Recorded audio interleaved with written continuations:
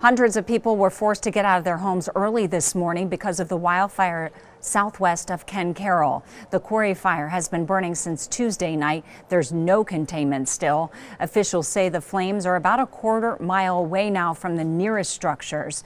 Firefighters say this is so tough to fight because it's burning in rocky and loose terrain with dense vegetation. So far, it has burned 341 acres.